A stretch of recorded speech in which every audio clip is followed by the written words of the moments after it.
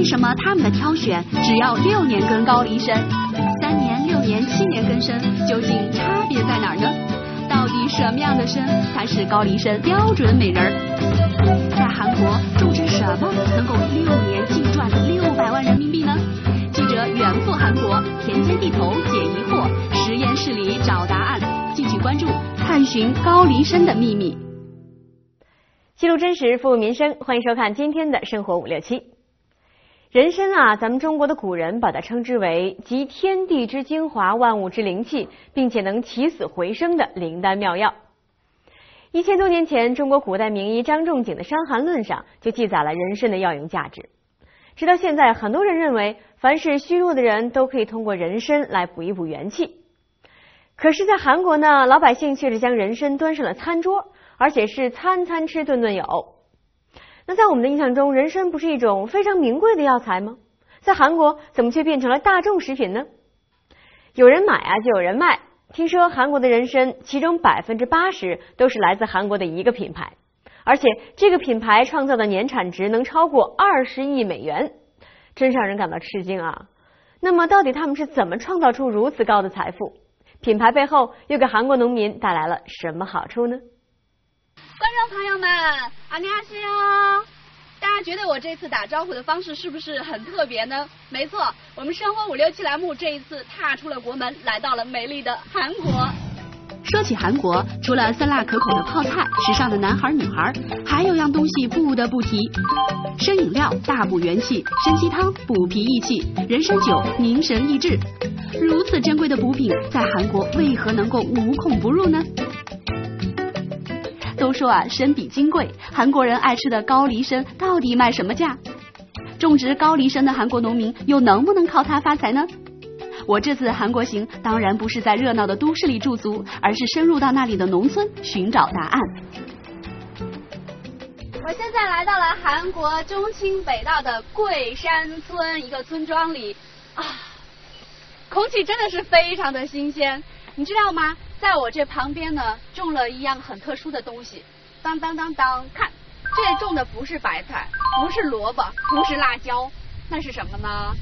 就是韩国高丽参。中清北道位于北纬三十至四十八度之间，四面环山，气候温和，非常适宜高丽参的种植。今天啊，我们凑巧赶上村民朴正道家的人参收获，我决定体验一把当生农的生活。到底在韩国种高丽参收入怎么样呢？好累啊！我在韩国当农民，这一片呢是我们家的生田，怎么样？我们家今天收成特别好。哎，你有没有觉得奇怪？为什么在农田里忙碌的全是大婶呢？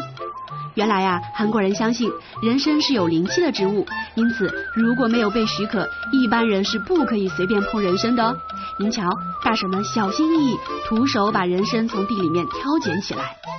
大妈告诉我说，因为人参是非常娇贵的东西，所以呢不能够随便轻易用工具，怕伤害它的这个形状。从早上六点钟啊到下午的三四点钟，这手不停的做这个动作，那还得粗糙成什么样呢？我们看一下，大妈，我可以看一下你的手吗？哦，哎，好奇怪哦，大妈哇，好漂亮的手哦，哇，你们看，很嫩。而且摸起来很光滑、很细腻，而且还涂了指甲油。大妈很爱美。每天要干七八个小时的农活，我真的是很好奇，大妈们的手为什么还能这么细腻呢？他觉得说，可能是因为人参是一个很有营养的东西，一个补品，所以也让他的手呢变得非常的细滑、细嫩。看来这人参确实是个好东西。大妈告诉我啊，高黎山的种植啊是在每年的三月到四月，收获是在九月到十月。真是想不到，农民的这一种一收，竟然相隔了六年的时间。而且呢，人参收获后，因为人参啊吸取了土壤的很多养分，让土壤变得贫瘠，以后要过上十年才可以再种人参。看来啊，这人参真是靠着吸取了大地之精华，才能如此滋养。这一片呢，种的全都是这个韩国的高丽参。其实这一整片的生田呢，是开车的那一位这个农民家的。안녕하세 요， 您好。哎，안녕하세 요。 哎，안녕하세 요。 您好。 好。哦，你好，你好。我想问一下，这一片的生田都是你的吗？이밭다사장님건지예제겁니다种了多少的这个人参？한천삼백평됩니다 약。 哦，一千三百平方米， 种这么多人参能挣多少钱呢？한육칠억정도수저기총매출을올리고있습니다六亿到七亿，天哪，真可观哎！ 难怪这里的农民呢，都是靠这个种人参发家致富了，发财了。六亿到七亿韩元，相当于人民币五百万到六百万。农民用六年的时间的培育，创造出这么大的经济价值，那种植成本也不少吧？这一般的农民能种得起吗？그런거는이제뭐인삼조합이라든가아니면인삼공사에서이렇게 1년마다매일교육이있습니다朴大叔告诉我，在韩国，大部分种高丽参的农户都是和一家人参公司签约。韩国人吃的百分之八十的生产品呢，都是出自这一家。不光自己发展，而且呢还引导农民致富，这又是给钱又是提供技术，这万一种植有个闪失，公司岂不是血本无归吗？ 我们对栽培人参的土地事先进行有否化学肥料的调查，然后制定一份种植合同，并且会预先支付支持种植的资金，这一切都是为了培育出上乘质量的纯种人参。看来，从源头把关，培养属于自己的高品质的高丽参，我想这也许正是创造巨额财富所走出的第一步吧。而对于农民来说，要想赚得大把钞票，成为签约农户，又要承受什么样的考验呢？예저항상뭐저기우리저항상가족같고요또이제가족같으면서도또이제또엄청엄격하게또이렇게참뭐모든뭐인상관계에대해서뭐在这个生田的旁边啊，我发现有这样的小车。哎，你说那车上放的是什么？我们过去看一下。 这个小车其实就是朴大叔为生农准备午餐的地方。生农们今天都吃些什么呢？看，里面很多吃的，饮料啊。哎，这是什么？这是什么？红参木，不是，格林克啊，红参叶。哦，种着人参，喝着红参叶，哇！其实我真的很好奇，什么样的参是红参？高丽参和人参又有什么不同呢？热心的大婶儿告诉我，原来啊，高丽参和人参其实是一家，只是人参呢长在韩国就叫高丽参，这地里面新鲜的高丽参叫水参，经过晒干的叫白参。再经过深加工后，因为颜色变得深红了，所以就叫做红参啦。好解渴呀，冰凉凉的。但是说实在的，有一点点，有一点点苦。品尝完冰凉的红参饮料，感觉力量倍增，我也该继续工作了。这边啊，大婶们正在对高丽参进行分拣。既然是来体验的，我也不能落后啊。哎，你们发现没有？有的这个参呢，被放进了筐里。有的参呢却被扔在了一边，这是因为什么呀？这些是六年根人参里比较好的，放在筐里被我们的收购商收走，不好的就会堆到一边。哦，原来是这么回事儿。刚才呢，大姐告诉我说，这个六年根就是种了六年的，当然也有这个一年根，一年根呢就是这个生苗，还有两年根、三年根、四年根、五年根，甚至到十二年根。但是哦，很奇怪，我发现一个问题。他们只收六年根的，你知道这是为什么吗？谢谢。马上就要赶往下一站了。刚才和大婶们一块干活，我觉得非常的开心，送出我们特意准备的小礼物表示感谢。再见，再见。刚才哈，您看我帮这个农民大姐一块来分拣这个人参，这是她的第一次被筛选的命运。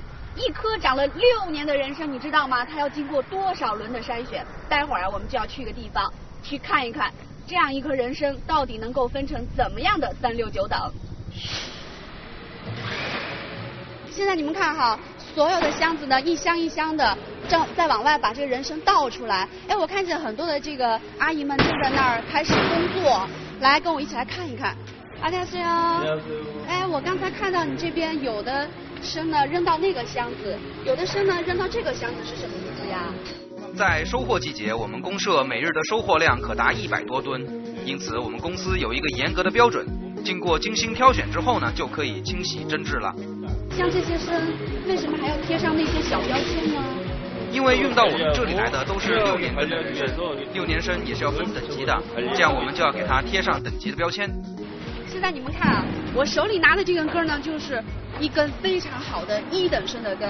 这个师傅告诉我说，你看，因为为什么叫一等根呢？因为它有头，还有身子，身子也非常的粗壮，而且腿呢也非常的粗壮。你看这个形状是最像人的，对不对？所以这样的人参呢是被他们认为是最好的一等生的。相比之下，还有的这个六年根呢长得就不怎么样了。你比如说像这一棵。哎，像这样的是不是就有点磕碜、寒碜了，是吧？这些工人师傅啊，在这里工作非常多年了，他们基本上可以说是半个专家，所以才能够很快的筛选出非常好的人参。农民啊，用六年的时间精心栽培韩国高丽参，这些韩国高丽参呢，经过层层的筛选，这些脱颖而出的人参呢，就会被送进韩国人参厂。那么在这个人参加工厂里面，它们的营养价值和药用价值又是如何得到最大的发挥呢？走，我们一起去看一看。韩国中部中青南道扶余郡，韩国最大的高丽参制造厂就在这里。好奇的我当然也要一探究竟。要想进到工厂里，必须先进行非常严格的消毒。刚才我在里面呢，进行了一番非常严格的消毒。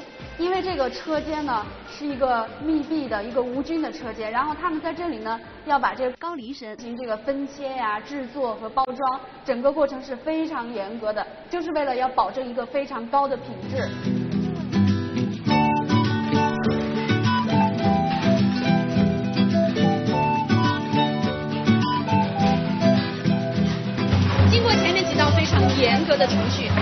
高丽参呢，到了一个非常关键的步骤了，那就是改头换面的一个程序了。这样一颗人参要经过什么样的这个整形才能够达到标准呢？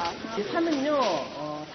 头部有渣子，我们要把它去掉。头部和身子的比例是二分之一的比例，是最漂亮的。这样一颗人参，师傅说，首先头部呢要把一些乱七八糟的东西给清理干净，然后呢身子呢也要把一些枝枝叉叉的东西给剪干净。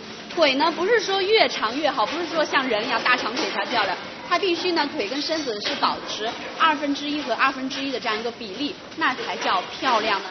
你们看，我手里拿了三颗高丽人参。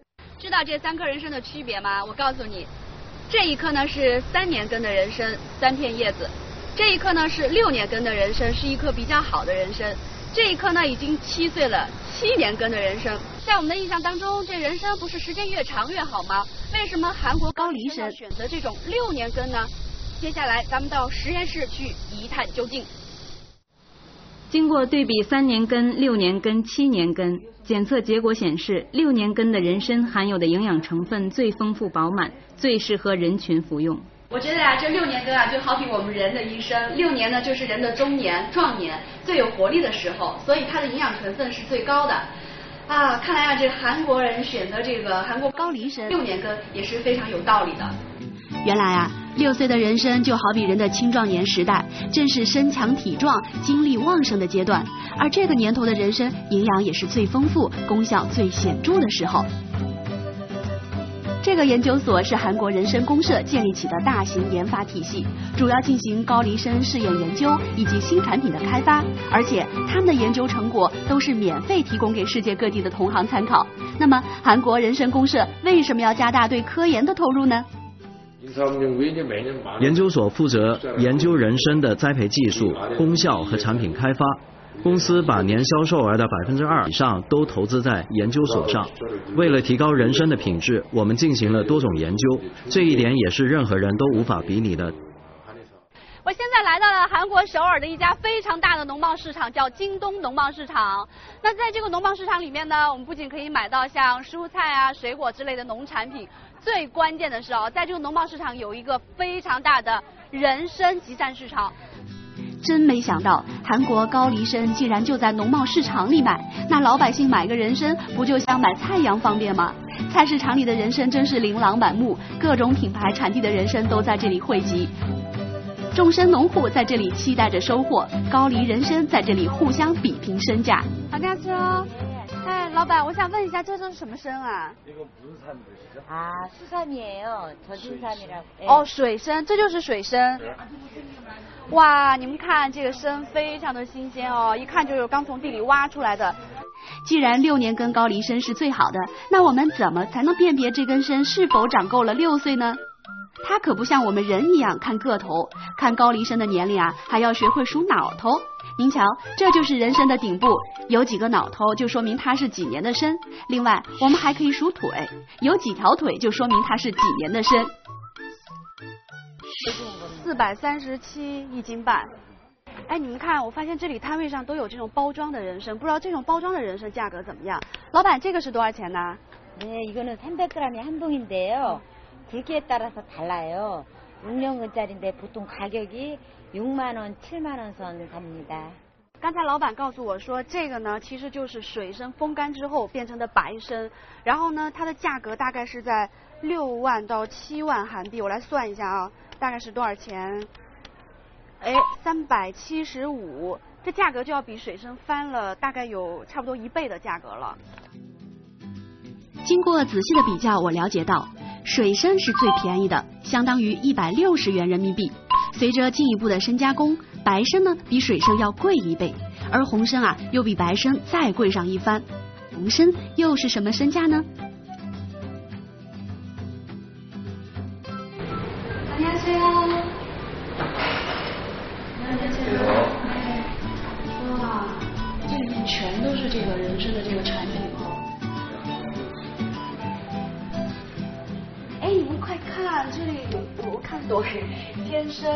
参、地参、凉参、切参，天参呢是一等是最贵的，好像一百根这个红参里面才有呃有可能是一根，甚至一根都没有。